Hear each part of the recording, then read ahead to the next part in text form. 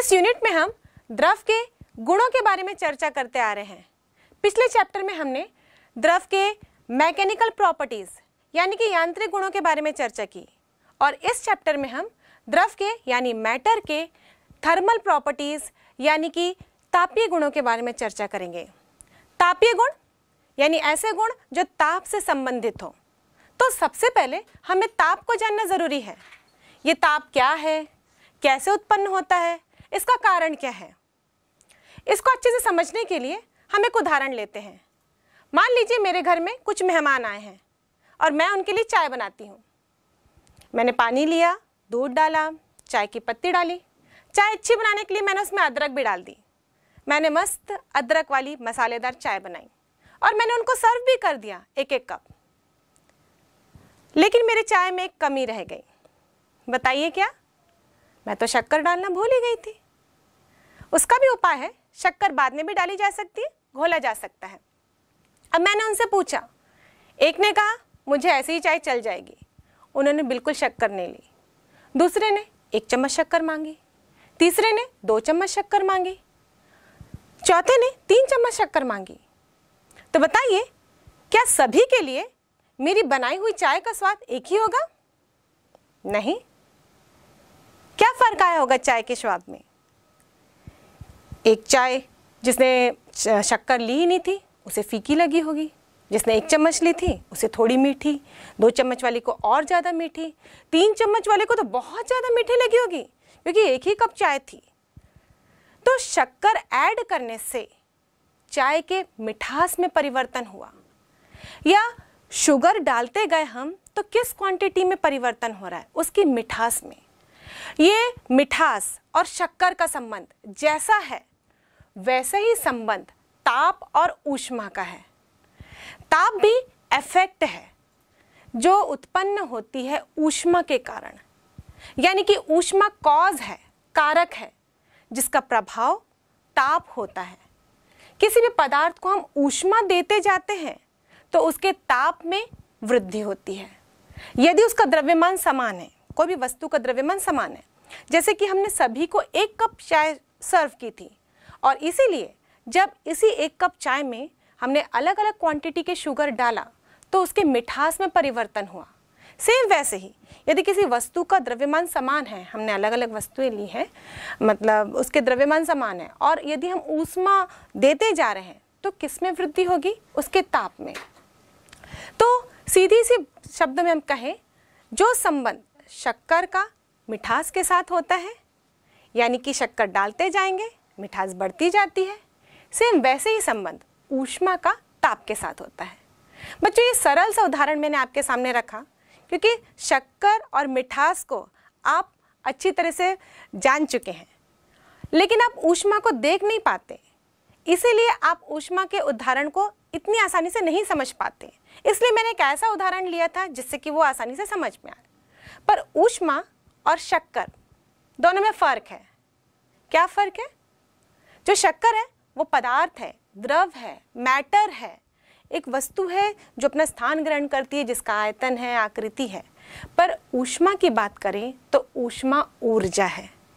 और ऊष्मा ऐसी ऊर्जा है, जिसके कारण किसी भी पदार्थ के गर्माहट या ठंडक का बोध होता है, उसकी पहचान होती है। यदि किसी वस्तु को हम ऊष्मा देते जाते हैं, उसके ताप में वृद्धि होती है तो वस्तु कैसी लगेगी? गर्म लगेगी। यदि ऊष्मा लेते जाते हैं, उसके ताप में कमी आते जाती है तो वस्तु ठंडी लगेगी। मतलब ऊष्मा ऊर्जा के कारण हमें किसी वस्तु के गर्माहट और ठंडक का बोध होता है। अब आइए बात करते हैं हम ताप के ऊपर। ये ताप क्या है? एक्चुअली बच्चों ताप को समझने के लिए हम एक और उदाहरण ले लेते हैं। मान लीजिए आपके पास एक ग्लास में गुनगुना पानी है। मतलब इतना गर्म है कि उसको आप आसानी से पी सकते हैं। और एक गिलास हमने और रखा है, जिसमें एकदम फ्रिज से निकला हुआ चिल्ड पानी है। अब इन दोनों को मैं कंपेयर करने बोलूँ आपको तो आप कहेंगे कि वो गुनगुना पानी गर्म है। एक्चुअली वो गर्म नहीं है। इतना नॉर्मल था वो कि उसको आप आसानी से पी सक रहे थे। लेकिन जब ठंडे वाले ग्लास से आपने कंपेयर किया तो आपने कहा कि वो गर्म है। लेकिन मान लीजिए मैं ऐसे एकदम उबलता हुआ पानी एक ग्लास में और डाल दूँ। उसको तो पीने लायक नहीं है, वो आप पी नहीं सकेंगे। लेकिन उस गुनगुने पानी को जब मैं उस खोलते हुए, उबलते हुए पानी से कंपेयर करने को कहूँ तो आप कहेंगे वो गुनगुना पानी ठंडा है और वो उबलता हुआ पानी गर्म है। तो वो जो गुनगुना पानी आपने लिया था, वो ठंडे वाले पानी की तुलना में गर्म हो गया और उस उबलते हुए पानी की तुलना में ठंडा हो गया। पर वो था गुनगुना पानी। मतलब ना वो गर्म था, ना वो ठंडा था। तो एक्चुअली जब हम किसी दो तीन वस्तुओं को कंपेयर करते हैं तो उस समय गर्माहट और ठंडक का जो एहसास होता है, वो केवल तुलनात्मक होता है। और तुलनात्मक ज्ञान सटीक नहीं होता, वो सही नहीं होता। क्योंकि जैसे अभी आपने वो गुनगुने पानी को कभी गर्म बोल दिया, कभी ठंडा बोल दिया तो वास्तव वो क्या था? उसका नॉलेज हमको नहीं हो पाता। और वैसे भी ये जो एहसास है गर्माहट और ठंडक का, ये पर्सन टू पर्सन वेरी करता है। आप देखे होंगे बच्चों, जब आप नहाने के लिए पानी इस्तेमाल करते हैं, कोई नॉर्मल वाटर से नहा लेता है, कोई बहुत गर्म से आसानी से नहा लेता है, उसको वो गर्म नहीं लगता, जबकि हम उसको छूते हैं तो लगता है वो बहुत गर्म है। तो एक्चुअली ये सारा चीज़ तुलनात्मक ज्ञान देता है। और यदि हमको सटीक ज्ञान चाहिए तो फिर हमें उस वस्तु का मापन करना पड़ेगा, उस फ़िज़िकल क्वांटिटी का मापन करना पड़ेगा। और ये फ़िज़िकल क्वांटिटी है तापमान, जो किसी वस्तु की एक्चुअल अवस्था को बताती है। उसके एक्चुअल गर्माहट और ठंडक की अवस्था को बताती है, उसका बोध कराती है। तो यहाँ पर मैंने एक शब्द इस्तेमाल किया, अवस्था। तो ताप क्या है बच्चों? अवस्था है स्टेट है, एक लेवल है वस्तु का, जिससे हमको बोध होता है कि वस्तु कितनी गर्म है या कितनी ठंडी। जैसे मैं आपको कहूँ कि पानी 100 डिग्री सेल्सियस में है तो आपको ये इमेजिनेशन हो जाएगा कि पानी उबल रहा होगा, क्योंकि 100 डिग्री सेल्सियस में हम जानते हैं कि पानी उबलने लग जाता है। तो ये हमने एक मान दे दिया उस मान के आधार पर आप जान जाते हैं कि उस पानी की अवस्था कैसी होगी। और मैं कहूँगी इस बॉटल में 100 डिग्री सेल्सियस में पानी है फटाफट पी लीजिए। आप पियेंगे नहीं। क्योंकि आपको आइडिया हो चुका है कि वो पानी किस अवस्था में होगा। वैसे ही यदि मैं कहूँ कि अब ज़ीरो डिग्री सेल्सियस पे है और आप इसको पियो तब भी, भी आप नहीं पी पाएँगे। क्योंकि ज़ीरो डिग्री सेल्सियस मतलब होता है पानी का जम जाना। यानी बर्फ़ में बन जाना। तो क्या आप उसको पी पाएँगे? तब तो आप उसको खा पाएँगे चबा चबा कर। तो इसलिए किसी भी वस्तु की अवस्था को जानने के लिए एक सटीक मान की आवश्यकता होती है, और उसी मान को हम कहते हैं तापमान। ये वस्तु की गर्माहट और ठंडक की अवस्था का बोध कराता है। अब आइए देखते हैं ये ऊष्मा और ताप में क्या संबंध है। वैसे तो मैंने कह दिया था कि जो शक्कर का मिठास के साथ संबंध होता है, वही ऊष्मा का ताप के साथ होता है। तो होता तो वही है। अब इसको हम थोड़ा और फोकस करते हैं। ऊष्मा को मैंने बताया, ये कारक है, जिसके कारण ताप उत्पन्न होता है। तो ताप इफ़ेक्ट है, उसका प्रभाव है। अब इसको और अच्छे से समझने के लिए एक और उदाहरण लेते हैं। मान लीजिए, आपके पास दो बकेट हैं। और दोनों में पानी भरा हुआ है। एक में पानी का स्तर अधिक है और दूसरे में पानी का स्तर कम है। अब इन दोनों बकेट को मैं नीचे से एक पाइप लगाकर जोड़ देती हूँ। यदि नीचे से पाइप लगा के जोड़ दिया जाता है तो बताइए, क्या होता है? पानी एक बकेट से दूसरे बकेट में प्रवाहित होने लगता है, फ्लो होने लगता है। किससे प्रवाहित होगा? जिसमें पानी का स्तर अधिक है और कहाँ पर प्रवाहित होगा? जिस बकेट में पानी का लेवल कम है। यानी हायर लेवल से लोअर लेवल की तरफ़ प्रवाहित होगा। कब तक? जब तक दोनों बकेट का लेवल बराबर ना हो जाए। इस एक्सपेरिमेंट को आप खुद भी करके देख सकते हैं। बकेट के जगह आप कोई भी दो बर्तन ले सकते हैं, जिसको अगर नीचे से जोड़ा जाए पाइप के ज़रिए किसी भी सहायता से तो देखिएगा आप दोनों का लेवल बराबर हो जाता है। और पानी का प्रवाह कहाँ से होता है? हाइयर लेवल से लोअर लेवल तक। अब मान लीजिए, हमारे पास दो वस्तुएँ हैं। एक का तापमान अधिक है और दूसरे का तापमान कम है। अब इन दोनों को एक दूसरे के संपर्क में लाया जाता है। तो यहाँ पर प्रवाह होगा ऊष्मा का। ऊष्मा एक ऊर्जा है और ये प्रवाह होगा हायर तापमान हायर टेम्परेचर वाली वस्तु से लोअर टेम्परेचर वाली वस्तु तक। और ये प्रवाह कब तक होगा? जब तक दोनों ही वस्तुओं का टेम्परेचर बराबर ना हो जाए। यहाँ पर हम बात कर रहे हैं टेम्परेचर की। टेम्परेचर बराबर होगा, ना कि ऊर्जा का मान बराबर होगा। ऊर्जा की मात्रा दोनों में अलग अलग हो सकती है, लेकिन दोनों वस्तुओं का ताप समान होगा। जैसे कि हमने बकेट और जल वाले एग्ज़ाम्पल में लिया था। हमने बाल्टी में पानी लिया था। अब दोनों बाल्टी में उसकी कैपेसिटी के अनुसार पानी अलग अलग हो सकता है, लेकिन जब दोनों का में प्रवाह शुरू होगा तो दोनों का लेवल बराबर हो जाएगा। लेवल मतलब दोनों का स्तर। भले बड़ी बाल्टी में ज़्यादा पानी आएगा, छोटी बाल्टी में कम पानी आए, लेकिन दोनों का लेवल बराबर होगा। सेम वैसे ही, यहाँ पे वस्तु की कैपेसिटी के अनुसार, यहाँ पर उसकी हीट कैपेसिटी होगी, जिसके बारे में हम आगे चर्चा करेंगे। तो उसकी हीट कैपेसिटी जितनी होगी, उसके अनुसार उसमें ऊर्जा की मात्रा, ऊष्मा की मात्रा अलग अलग होगी। लेकिन दोनों का लेवल सही सेम होगा। लेवल का मतलब यहाँ पर अवस्था से है और अवस्था मतलब यहाँ पर उसकी ताप अवस्था से है। और ताप अवस्था मतलब दोनों का तापमान से है। तो यहाँ पर दोनों वस्तुओं का तापमान एक जैसा हो जाएगा, यदि दोनों को संपर्क में लाया जाए। और ये प्रवाह कहाँ से शुरू हो रहा था? उच्च ताप वाली वस्तु से निम्न ताप वाली वस्तु तक। तो इस प्रकार हम ऊष्मा की एक और परिभाषा दे सकते हैं? जैसे कि ऊष्मा एक ऊर्जा है, जिसका प्रवाह तापमान के अंतर के कारण होता है। और ये प्रवाह कब तक होता है? जब तक दो वस्तुएँ जो आपस में संपर्क में हैं, जिसके तापमान में अंतर है, इन दोनों का तापमान बराबर ना हो जाए। पहले हमने क्या बोला था कि ऊष्मा एक ऊर्जा है, जिसके कारण किसी वस्तु में गर्माहट या ठंडेपन का बोध होता है। तो इस प्रकार हम ऊष्मा को अलग अलग तरीके से परिभाषित कर सकते हैं। अब तापमान को कैसे परिभाषित करेंगे? तो ताप किसी भी वस्तु की वह अवस्था है, जो यह डिसाइड करती है कि ऊष्मा का प्रवाह किस वस्तु से किस वस्तु में होगा, यदि दो वस्तु को आपस में संपर्क में लाया जाए। तो इतना तो कंफर्म है कि ऊष्मा का प्रवाह उच्च ताप वाली वस्तु से निम्न ताप वाली वस्तु की ओर होगा। और कब तक होगा? जब तक दोनों का तापमान बराबर ना हो जाए। तो इस प्रकार बच्चों हम अलग अलग तरीके से ताप को, ऊष्मा को परिभाषित करते हैं। लेकिन बेसिक कॉन्सेप्ट वही है। इन दोनों के संबंध को हमको जानना ज़रूरी है। और ये एक दूसरे से किस प्रकार जुड़े हुए हैं? तभी हम द्रव के तापीय गुणों को अच्छी तरह से समझ पाएँगे। तो चलिए बच्चों, ऊष्मा और ताप में अंतर देखते हैं। ताप और ऊष्मा में अंतर। ऊष्मा, ताप, यह एक प्रकार की ऊर्जा है जिसके कारण गर्माहट और ठंडेपन का अनुभव होता है। यह किसी वस्तु की गर्माहट और ठंडेपन की माप है। इसका ऐसा ही मात्रक जूल है। इसका ऐसा ही मात्रक कैल्विन है। यह एक कारण है। यह ऊष्मा का प्रभाव है।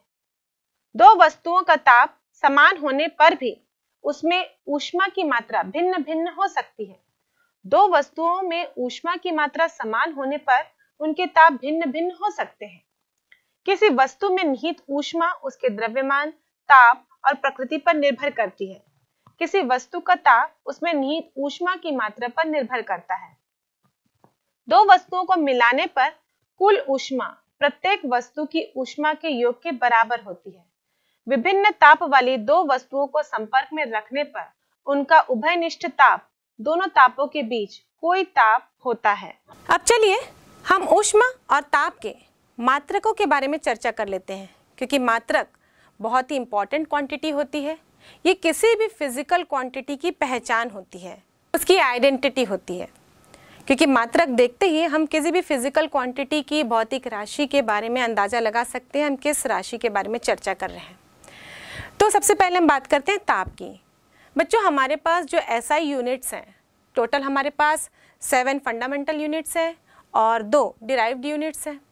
तो जो सेवन फंडामेंटल यूनिट्स होते हैं, मूल मात्रक, उसमें ताप भी शामिल है और इस मूल मात्रक में जो ताप का ऐसा ही मात्रक होता है, वो कैलविन है और इसे हम कैपिटल लेटर के से दर्शाते हैं, क्योंकि कैलविन साइंटिस्ट का नाम है और साइंटिस्ट के नाम के आधार पर जितने भी मात्रक होते हैं, वो सारे कैपिटल लेटर से दर्शाए जाते हैं।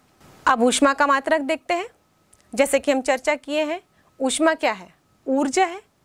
तो जो ऊर्जा का मात्रक होगा, वही ऊष्मा का मात्रक होगा। इसलिए ऊष्मा का ऐसा ही मात्रक जूल होता है।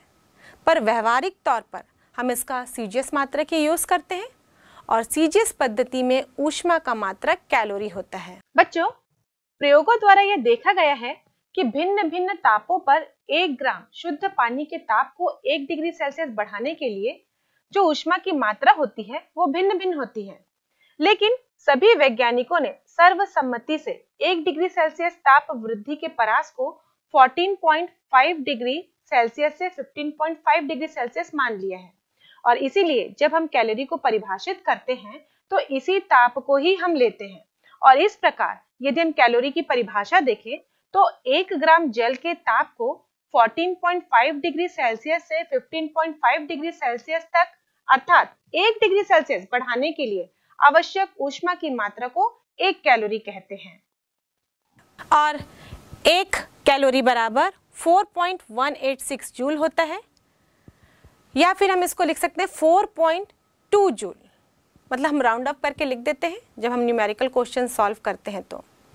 वैसे हम ऊष्मा का और बड़ा मात्रक भी यूज़ करते हैं, जैसे कि किलो कैलोरीज और हम जानते हैं, एक किलो कैलोरी बराबर होता है थाउज़ेंड कैलोरी अब ऊष्मा का विमीय सूत्र क्या होगा? वही जो ऊर्जा का होता है, वही जो कार्य का होता है। कार्य और ऊर्जा, दोनों का मात्रक भी एक है, दोनों का विमीय सूत्र भी एक है। और वही मात्रक हम ऊष्मा के लिए भी इस्तेमाल करते हैं, यानी कि M L square T minus two बच्चों, ये सूत्र और विमीय सूत्र हमें जानना बहुत ज़रूरी होता है, क्योंकि जैसे कि मैं हर चैप्टर में आपको बताते आ रही हूँ कि कॉम्पिटिटिव एग्ज़ाम में, चाहे मेडिकल हो, चाहे इंजीनियरिंग की तैयारी आप कर रहे हो तो क्वेश्चंस आते हैं विमीय सूत्र के ऊपर। तो इस तरह से आप हर चैप्टर में कुछ पर्टिकुलर टॉपिक्स के विमी सूत्र याद रखते चले जाएँगे तो ये आपके लिए आगे की तैयारी में हेल्पफुल होगा। और अभी हमने ऊष्मा के ऊपर इतनी चर्चा की, कि ऊष्मा ताप के अंतर के कारण प्रवाहित हो रही है, यानी कि ऊष्मा के प्रवाह की एक दिशा है, क्योंकि ये उच्च ताप वाली वस्तु से निम्न ताप वाली वस्तु की ओर प्रवाहित हो रही है। तो चलिए, मुझे ये बताइए कि ऊष्मा कैसी राशि है, सदिश या अदिश? जनरली हम कंफ्यूज हो जाते हैं कि ऊष्मा उच्च ताप वाली वस्तु से निम्न ताप वाली वस्तु में प्रवाहित हो रही है। मतलब इसकी एक निश्चित दिशा है। और यही सोचकर हम ऊष्मा को सदिश राशि कह देते हैं। यानी कि वेक्टर क्वांटिटी लेकिन ऊष्मा अदिश राशि है। क्योंकि ऊष्मा क्या है? बेसिकली हम देखें तो ऊष्मा तो ऊर्जा का ही रूप है।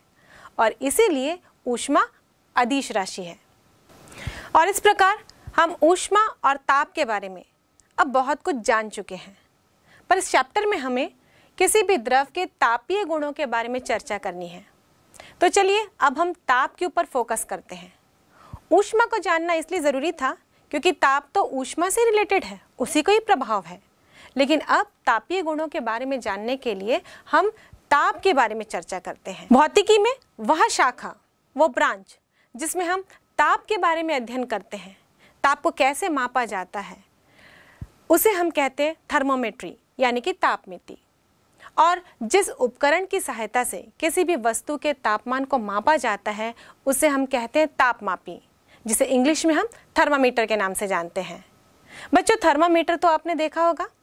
जब आप हॉस्पिटल जाते हैं और डॉक्टर आपको थर्मामीटर देता है और जैसे ही थर्मामीटर में सौ से ऊपर बताता है यानी कि 101 तब डॉक्टर कहता है, आपको तो तेज फीवर है और उसके बाद वो अपना ट्रीटमेंट शुरू कर देता है। आपको ढेर सारी दवाई या इंजेक्शन दी जाती है। बुखार 101 डिग्री है।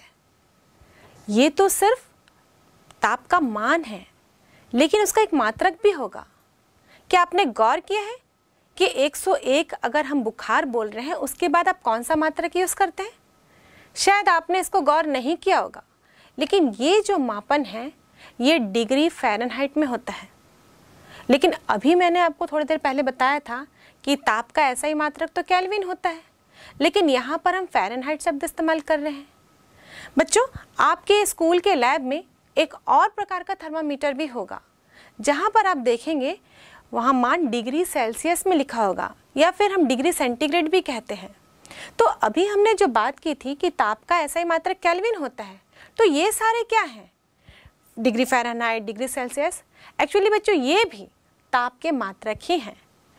हम ताप को चार अलग अलग पैमाने में नापते हैं। चार अलग अलग साइंटिस्ट ने ताप को मापने के लिए चार अलग अलग पैमाने दिए।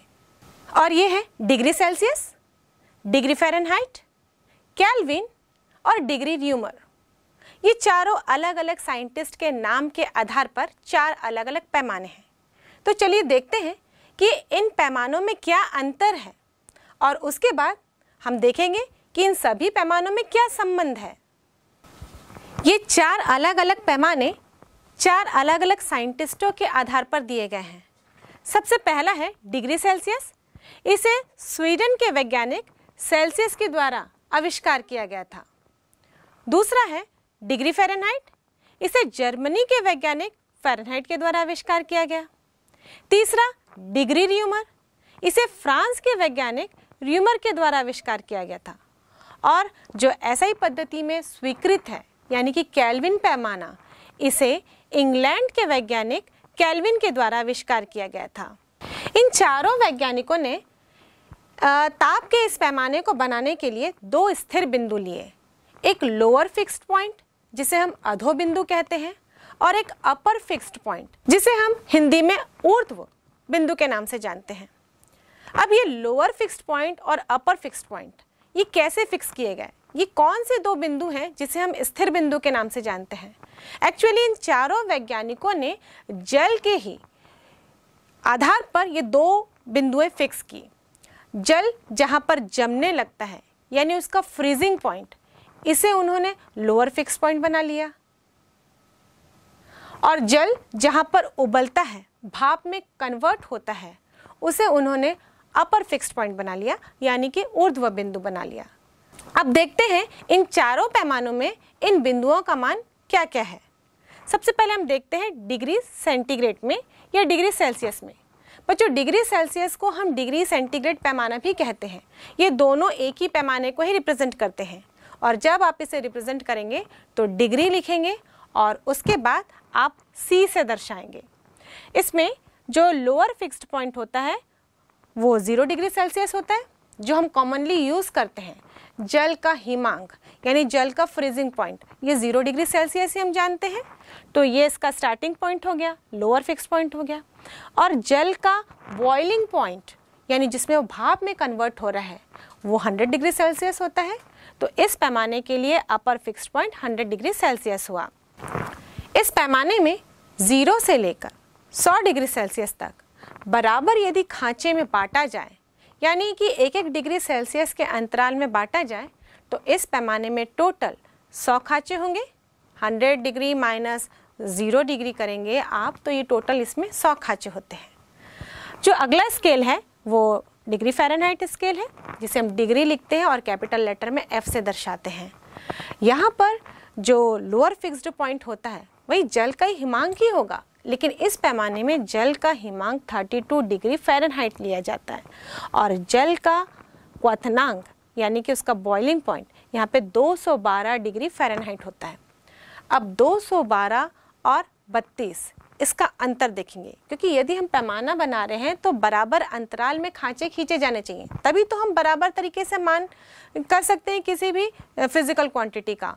तो अगर हम 212 में 32 को घटाते हैं तो टोटल यहाँ पर 180 खांचे होते हैं। अब नेक्स्ट है डिग्री र्यूमर जिसे हम डिग्री आर से दर्शाते हैं। इस पैमाने में lower fixed point zero degree Reaumur होता है और upper fixed point 80 degree Reaumur होता है और इसमें टोटल 80 खांचे होते हैं। अब बात करते हैं कैलविन पैमाने की। इसे हम कैलविन से दर्शाते हैं, केवल के लिखते हैं। बाकी तीनों ही पैमानों में हमने डिग्री लगाकर मान लिखा, जैसे कि degree Celsius, degree Fahrenheit, degree Reaumur. जब हम कैलविन की बात करते हैं, ये ऐसा ही मात्रक है और इसमें हम केवल कैपिटल लेटर के से दर्शाएँगे।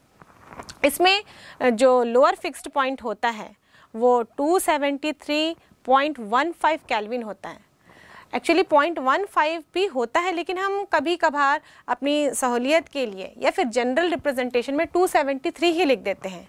पर पॉइंट वन फाइव इसका एग्जैक्ट मान होता है और इसका अपर फिक्स्ड पॉइंट होता है 373.15 केल्विन और इस प्रकार हम इस पैमाने में भी देखें तो टोटल इसमें सौ खाँचे होते हैं, यानी कि सौ इक्वल स्केल्स होते हैं बराबर अंतराल में। अब ये चारों पैमाने, ये चारों ताप को ही रिप्रेजेंट कर रहे हैं। इसका मतलब इनमें संबंध होगा। अब आइए देखते हैं इनमें क्या संबंध है। इनमें संबंध को जानना इसलिए ज़रूरी है क्योंकि एग्ज़ाम में न्यूमेरिकल क्वेश्चंस आते हैं तो कन्वर्शन आता है। ए, एक पैमाने का मान दिया जाता है जिसको दूसरे पैमाने में आपको कन्वर्ट करना होता है। तो जब आप इनके बीच में संबंध जानेंगे तभी आप ये कन्वर्शन कर पाएँगे। और ये जो कन्वर्शन वाला न्यूमेरिकल क्वेश्चन है, वो एग्ज़ाम में दो नंबर या तीन नंबर का देखने को मिलता है।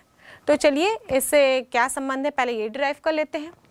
इस संबंध को डिराइव करने के लिए हम स्पेशल तरीके से लिखते जाते हैं, ताकि आपको ये संबंध आसानी से याद हो जाए। सबसे पहले जो पैमाना है हम उसको लिखते जाएँगे और इसका स्टार्टिंग पॉइंट इसमें माइनस करते जाएँगे। और इसके बाद इसे कुल खांचों की संख्या से भाग देते हैं और इसके आधार पर हम संबंध को स्थापित करेंगे। तो हमारे पास चार पैमाने हैं, पहले चारों को लिख लेते हैं। चारों पैमाने बराबर होंगे। क्यों बराबर होंगे? उनके न्यूमेरिकल वैल्यू अलग अलग होंगे, लेकिन यदि वो एक ही फ़िज़िकल क्वांटिटी को नाप रहे हैं तो मतलब वो बराबर ही हैं। जैसे कि आप लोग एक मीटर यदि नापते हैं और उसे सेंटीमीटर में कन्वर्ट करना चाहते हैं तो एक मीटर बराबर सौ सेंटीमीटर लिख देते हैं। इसका मतलब वो फ़िज़िकल क्वांटिटी चेंज नहीं हो पाती। फ़िज़िकल क्वांटिटी तो उतनी ही रहती है। एक मीटर भी उतना ही रहेगा, सौ सेंटीमीटर भी आप लिखेंगे तो भी वो उतनी ही दूरी को रिप्रेजेंट करता है। सेम वैसे ही, यहाँ पे आप अलग अलग पैमाने को इस्तेमाल कर रहे हैं, पर वो एक ही फ़िज़िकल क्वांटिटी को दर्शाएँगे। तो यहाँ पर हम पहले लिखेंगे सी बराबर एफ़ बराबर आर बराबर के अब इनमें सब में हम इसके स्टार्टिंग पॉइंट को, यानी लोअर फिक्स्ड पॉइंट को घटा देते हैं। तो C में हम माइनस करेंगे ज़ीरो डिग्री सेल्सियस क्योंकि इसका स्टार्टिंग पॉइंट ज़ीरो था। F में माइनस थर्टी टू आर में माइनस ज़ीरो और K में minus two seventy three point one five कभी हम कैलकुलेशन करने के लिए केवल 273 भी लिखते हैं, जैसे मैंने आपको बताया, और न्यूमेरिकल क्वेश्चन आप सॉल्व करेंगे तो आप वही लिखेंगे। लेकिन इसका एग्जैक्ट वैल्यू 0.15 लगा के ही आता है। अब अपॉन में देखते हैं डिवाइड करते हैं। किससे डिवाइड करना है? ऊर्ध्व बिंदु और अधो बिंदु के बीच का अंतर, या यूँ कहें कि इन पैमानों में कुल खांचों की संख्या। अब सेल्सियस वाले पैमाने में यदि हम ऊर्ध्व बिंदु को ऊर्ध्व बिंदु से अधो बिंदु को सब्ट्रैक्ट करें तो टोटल सौ खांचे आते हैं तो हम लिखेंगे सौ। और फ़ारेनहाइट की बात करें तो 212 सौ बारह माइनस बत्तीस, यानी कि 180 और र्यूमर में देखें तो 80 माइनस ज़ीरो हो जाएगा, यानी कि 80 और कैलविन में हम देखें तो 373.15 माइनस टू यानी कि टोटल यहाँ पर भी 100 खा जाएँगे। तो इस प्रकार हमने एक समीकरण तैयार कर लिया, एक संबंध तैयार कर लिया। अब इसे और सिंप्लीफाई कर देते हैं, क्योंकि जितना हम सरल करके रखेंगे फॉर्मूले को, उतना हमको न्यूमेरिकल क्वेश्चन सॉल्व करने में आसानी होगी। यहाँ हम डिनोमिनेटर में देखें तो ये सारे 20 के टेबल में आ जाएँगे।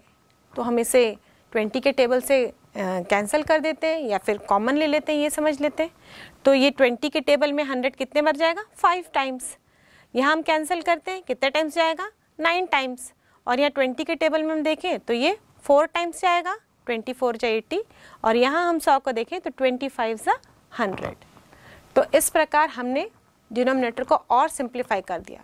तो हमारे पास एक फॉर्मूला तैयार हो गया, और ये है c upon five equal to minus thirty two upon nine equal to R upon four equal to K minus two one five upon five और इस समीकरण को आप बिल्कुल अपने दिमाग में रख लीजिए, क्योंकि इसी समीकरण से हम एक पैमाने को दूसरे पैमाने में कन्वर्ट करते हैं।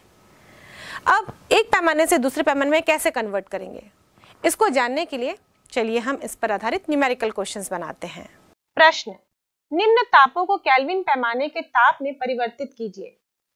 Minus seventy three degree Celsius, minus two seventy three degree Celsius, hundred degree Celsius. अब इन तीनों मानों को हम देखें तो ये तीनों डिग्री सेल्सियस में दिए गए हैं और इसे हमें कैलविन में कन्वर्ट करना है। तो हम उस संबंध को इस्तेमाल करेंगे जो डिग्री सेल्सियस और कैलविन में है। और यहाँ से हम देखें तो C अपॉन फाइव बराबर होता है K minus two seventy three upon five यहाँ से फाइव और फाइव कैंसल हो जाएगा तो C बराबर होगा K minus two seventy three और इसी संबंध को इस्तेमाल करके हम कन्वर्ट करेंगे। यहाँ से हम देखें तो और यहाँ से हम देखें तो C बराबर K minus two seventy three है। तो K बराबर होगा C plus two seventy three तो इस प्रकार अब हम केल्विन पैमाने में कन्वर्ट करने के लिए इस ताप में जो डिग्री सेल्सियस में दिया गया है, उसमें 273 ऐड कर देते हैं।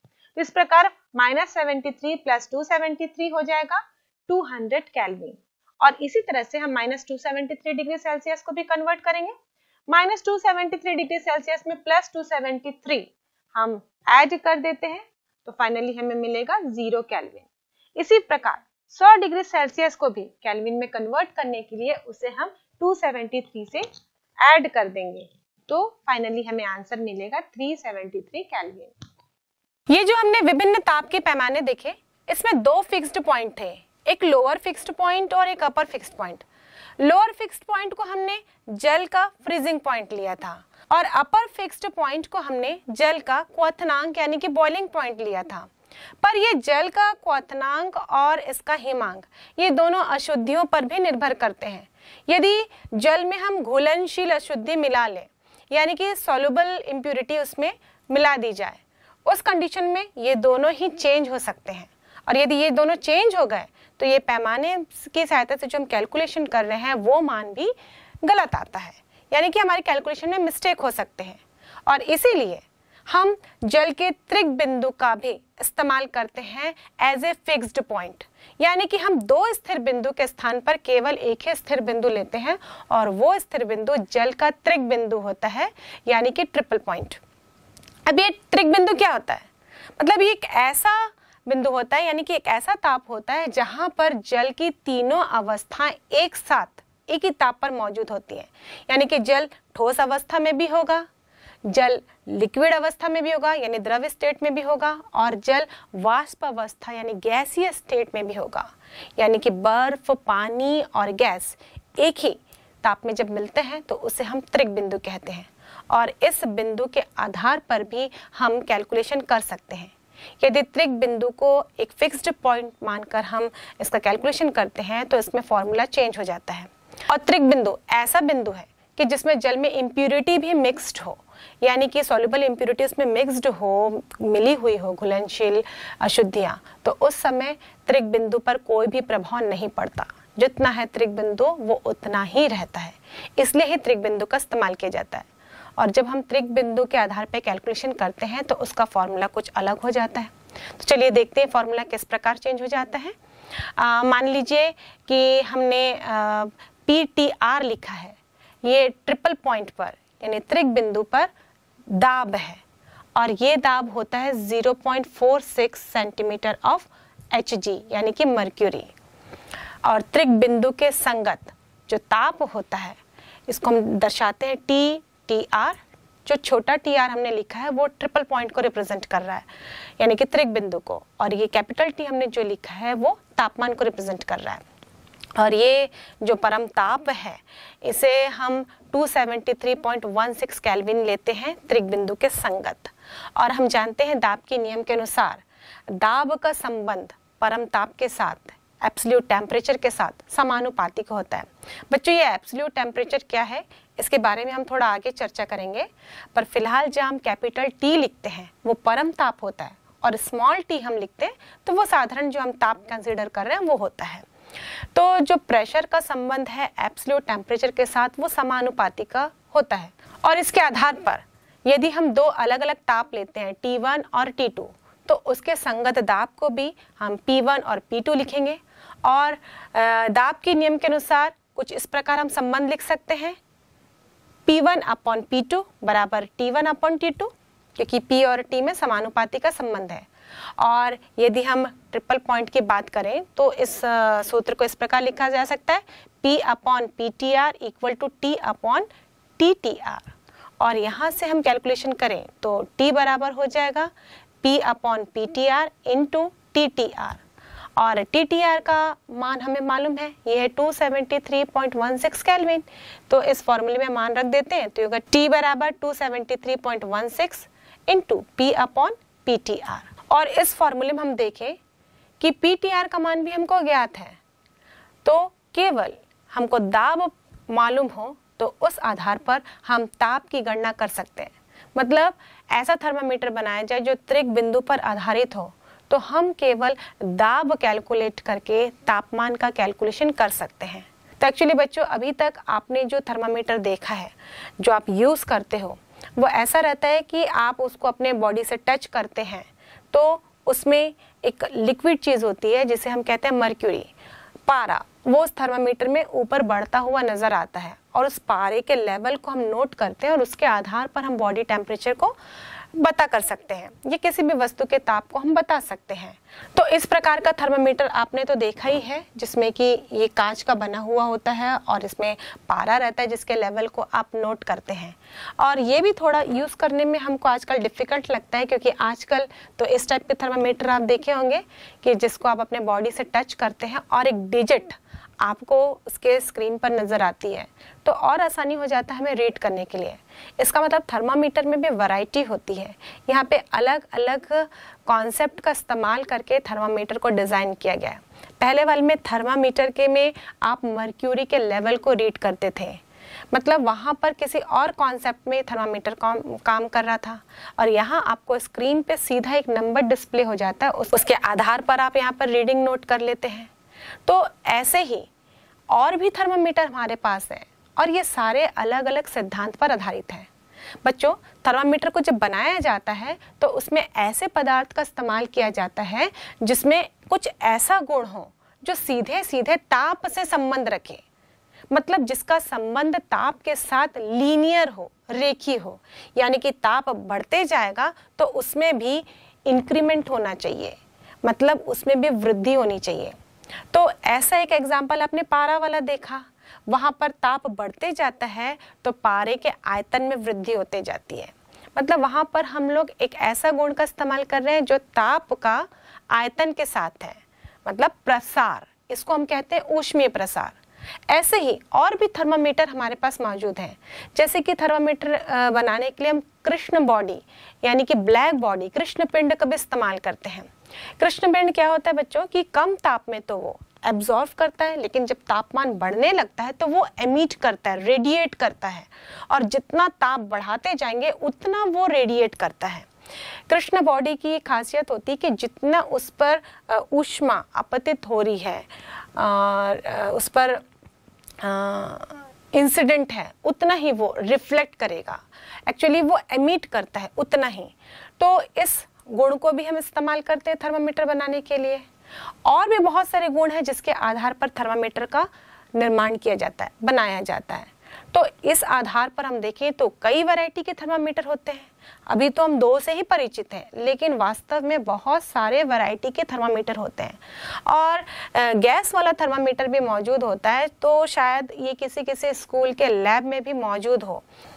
तो इस प्रकार हम देखें कि बहुत सारे वैरायटी के थर्मामीटर होते हैं। तो चलिए एक एक करके हम सारे थर्मामीटर्स को डिस्कस करते जाते हैं। सबसे पहला वाला थर्मामीटर इससे तो आप भली भांति परिचित हैं, ये पारा थर्मामीटर है मर्क्यूरी थर्मामीटर है। दिखता कैसे है? ऐसा कांच का बना हुआ रहता है, नीचे एक बल्ब होता है बॉब जिसके अंदर पारा भरा हुआ होता है। और जैसे ही इसको किसी भी गर्म वस्तु के संपर्क में लाया जाता है तो उसके आधार पर मर्क्यूरी में इसके अंदर जो पारा भरा है उसमें एक्सपेंशन होता है उसके आयतन में वृद्धि हो जाती है। और इस एक्सपेंशन को हम ऊष्मीय प्रसार कहते हैं। बच्चों ऊष्मीय प्रसार में ये जो आयतन प्रसार है उसके बारे में हम आगे और डिटेल में चर्चा करेंगे इसी चैप्टर में। तो फ़िलहाल आप ये आ, ध्यान में रखिए कि ये जो पारा वाला थर्मामीटर है इसमें ऊष्मीय प्रसार का सिद्धांत लागू होता है। और इसके आधार पर पारे में एक्सपेंशन होता है, उसी को हम रीड करते हैं और उसके आधार पर हम टेम्परेचर को नोट कर पाते हैं।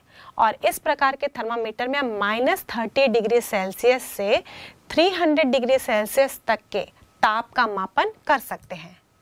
जो अगले प्रकार का थर्मामीटर है, वो गैस तापमापी है, यानी कि गैस थर्मामीटर बच्चों, हम जानते हैं कि किसी भी गैस की अवस्था को बताने के लिए तीन पैरामीटर ज़रूरी हैं।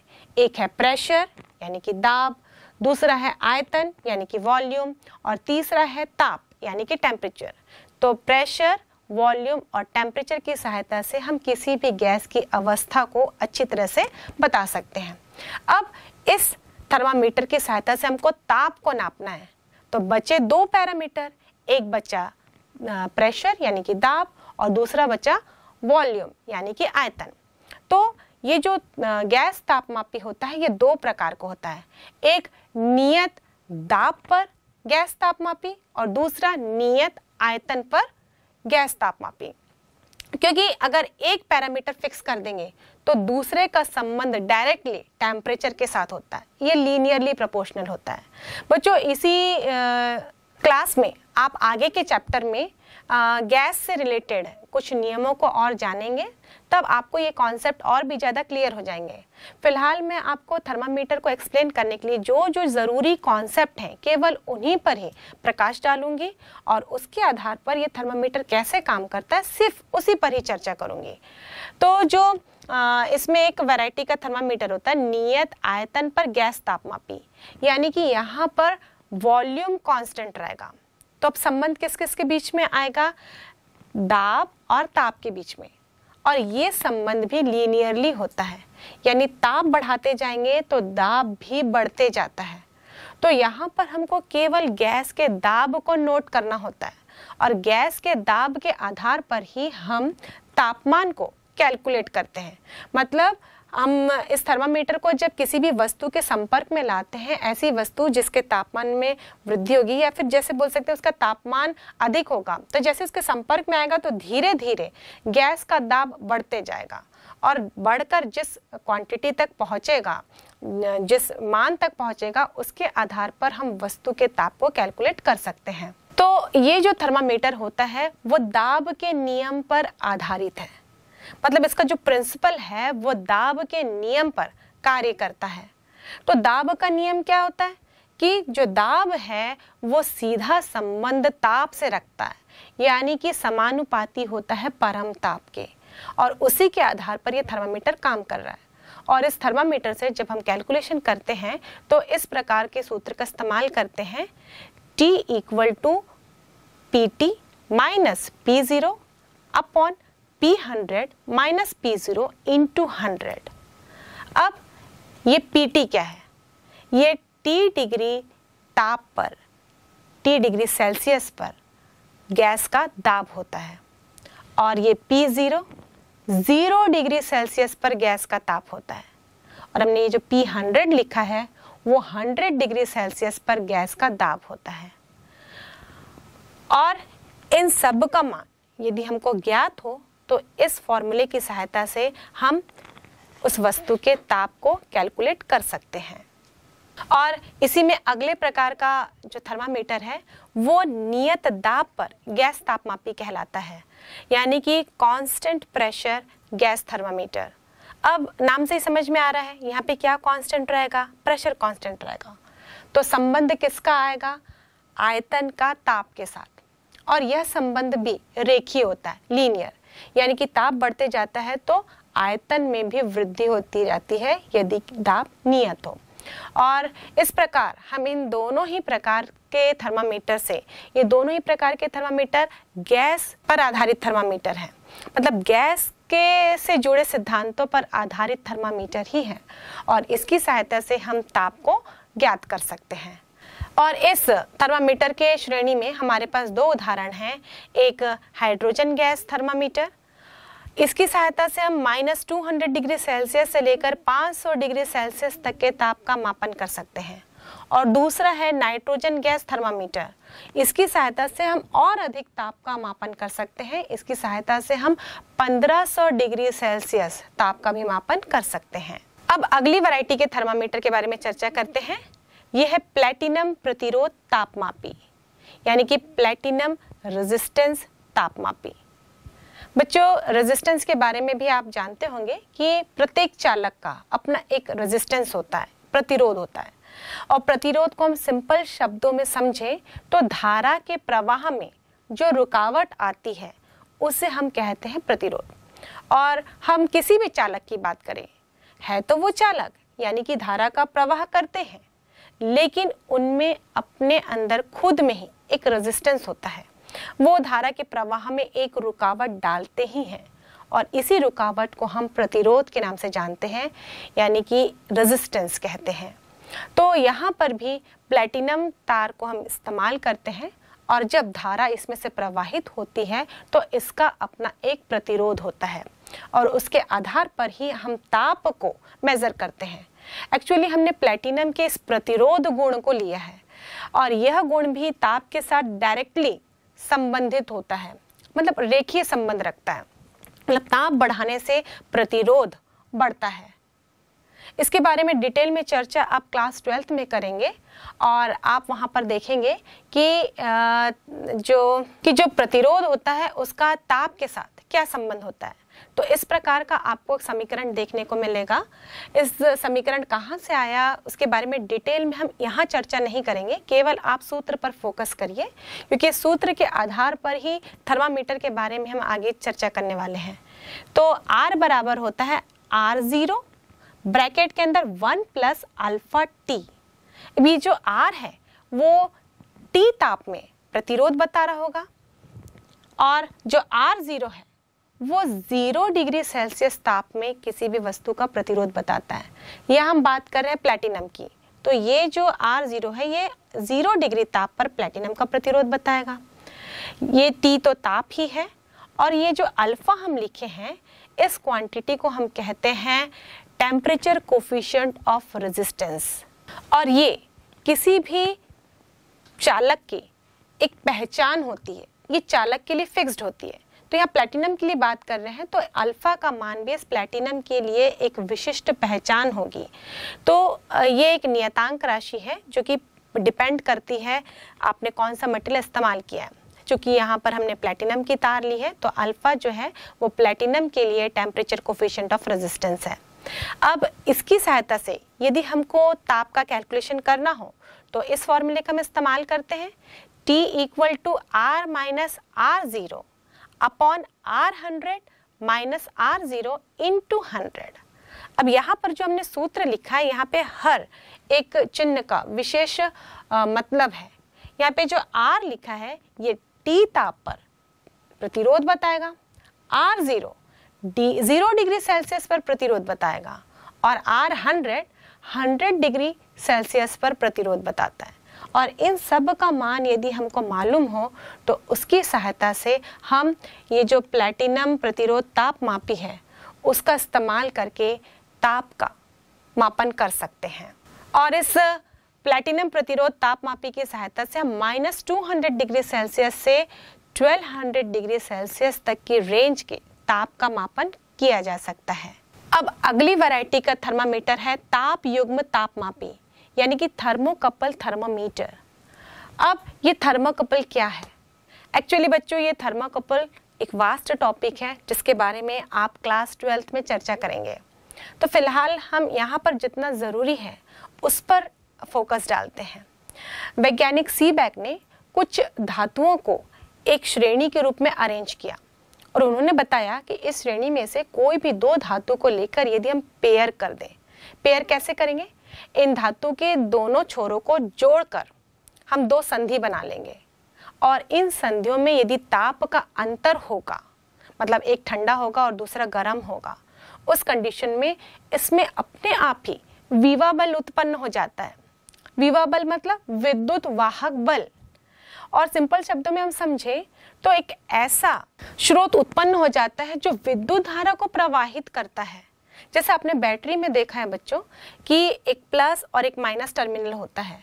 और प्लस और माइनस टर्मिनल जो है, वो विभव अंतर उत्पन्न करते हैं और उसके कारण ही धारा प्रवाहित होती है। तो हम बैटरी को एक विद्युत स्रोत कहते हैं। वैसे ही यहाँ पर भी एक विद्युत वाहक बल उत्पन्न होता है, जो कि आवेश को तार में प्रवाहित करता है। या यूँ कहें कि उसके कारण ही इस थर्माकपल में धारा प्रवाहित होती है। और इस धारा के मान को नोट करके ही हम इन दोनों संधियों के बीच में टेम्परेचर के डिफरेंस को पता कर पाते हैं। इसीलिए जनरली इस थर्माकोपल से जब हम काम करते हैं तो एक संधि को हम ज़ीरो डिग्री सेल्सियस पे रख देते हैं। ताकि उसके कंपैरिजन में जो भी ताप आप ज्ञात कर रहे हो, वो एग्जैक्ट हो। मतलब अब आपने 100 डिग्री अगर कैलकुलेशन किया है तो ज़ीरो और 100 का डिफरेंस करेंगे तो वो 100 ही आएगा। मतलब आप एग्जैक्ट मापन कर सकेंगे। तो इस प्रकार हम थर्मोकपल की सहायता से किसी भी वस्तु के ताप को ज्ञात कर सकते हैं। तो बेसिकली ये जो थर्माकपल होता है, ये सी बैग प्रभाव पर आधारित है।